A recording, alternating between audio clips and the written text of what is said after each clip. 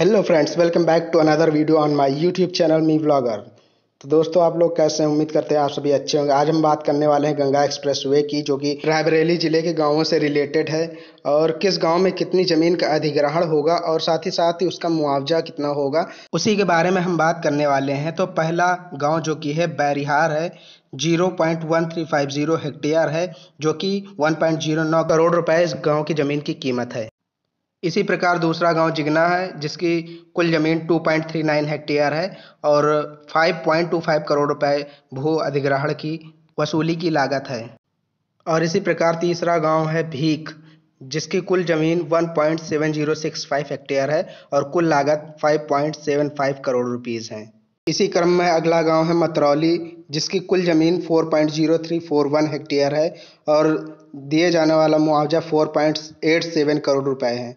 अगला गाँव भागीपुर है, जिसकी कुल ज़मीन zero point six four three five hectare है और इसकी कुल दिया जाने वाला मुआवजा one point four nine crore रुपए में है। इसी क्रम में अगला गाँव सेमरी रनापुर है, जिसकी कुल ज़मीन six point three eight five six hectare है और दिए जाने वाला मुआवजा seven point nine three crore रुपए हैं।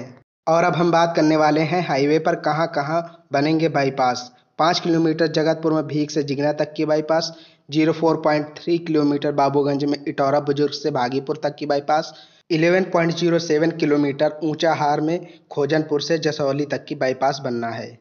भारतीय राष्ट्रीय राजमार्ग प्राधिकरण की ओर से जगतपुर, बाबूगंज और ऊंचाहार में तीन बाईपास के निर्माण का खाका खींचा गया था। शासन की ओर से इन्हें पहले ही मंजूरी दे दी गई थी। इनके निर्माण के लिए ऊंचाहार तहसील क्षेत्र के कुल सत्रह गाँवों में भूमि अधिग्रहित की जानी है।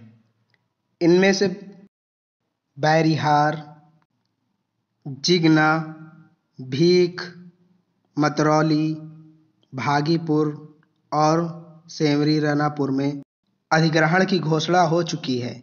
यहाँ काश्तकारों की कितनी ज़मीन ली जानी है और कितना भुगतान होना है, यह भी तय हो चुका है। जुगमगदीपुर, जगतपुर टांगन इटौरा बुज़ुर्ग, खोजनपुर, ऊंचाहार, पट्टी रहस कैथवल अरखा जसौली नेवादा और चढ़रई में अवार्ड करने की तैयारी चल रही है। तो दोस्तों, यही थी रायबरेली ज़िले से निकलने वाली गंगा एक्सप्रेसवे की मुआवजे और भू अधिग्रहण की जानकारी। उम्मीद करता हूँ कि आपको यह जानकारी ज़रूर पसंद आई होगी। अगर वीडियो पसंद आई हो तो वीडियो को लाइक कर कर चैनल को सब्सक्राइब करना, साथ ही साथ बेल आइकन को भी ऑन कर लेना, ताकि भविष्य में कभी मैं गंगा एक्सप्रेस वे की वीडियो डालूँ तो उसका नोटिफिकेशन आप तक जल्द से जल्द पहुँचे। मिलते हैं दूसरे वीडियो के साथ, तब तक कि मैं आपसे अलविदा लेना चाहता हूँ।